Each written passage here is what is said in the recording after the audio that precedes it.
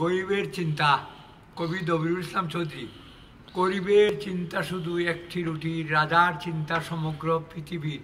ভিখারি পায় যদি রাতের খোরাক, রুমের বাচ্চা সম নিদ্রায় বিভাগ। কেউ যদি উচ্চস্থানে তাকে দাঁড়াইয়া হাসিও না পত্র তাহারে দেখিয়া, অনন্ত সাগর যার নাই কোনো কুল, সাঁতারের বাহাদুরি করা সেটা ভুল।